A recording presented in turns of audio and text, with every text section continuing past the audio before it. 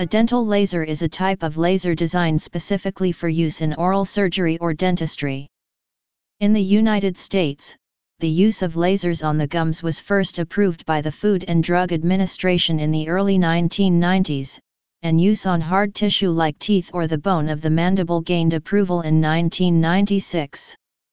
Several variants of dental lasers are in use with different wavelengths and these mean they are better suited for different applications. Soft tissue lasers. Diode lasers. Carbon dioxide lasers. ND-YAG laser.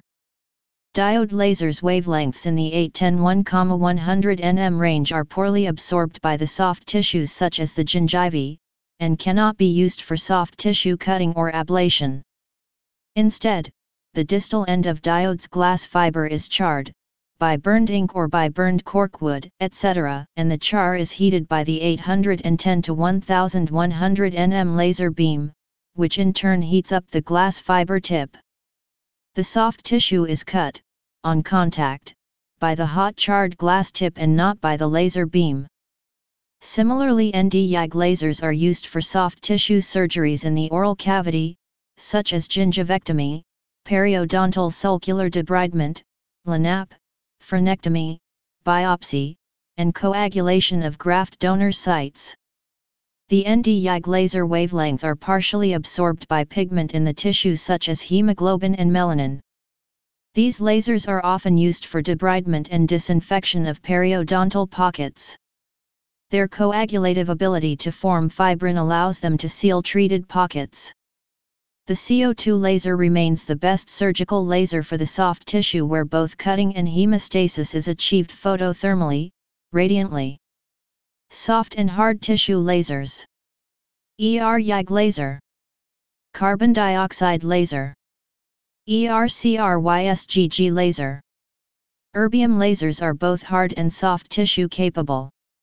They can be used for a host of dental procedures, and allow for more procedures to be done without local anesthesia. Erbium lasers can be used for hard tissue procedures like bone cutting and create minimal thermal and mechanical trauma to adjacent tissues. These procedures show an excellent healing response. Soft tissue applications with erbium lasers feature less hemostasis and coagulation abilities relative to the CO2 lasers.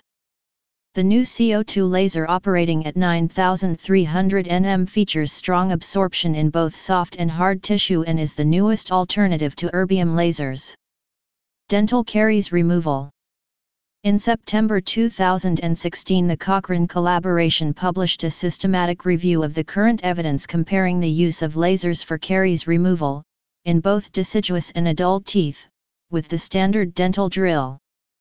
Nine trials were reviewed published between 1998 and 2014, with 662 participants in total. These included three different types of laser, ER-YAG, ERCRYSGG, and ND-YAG.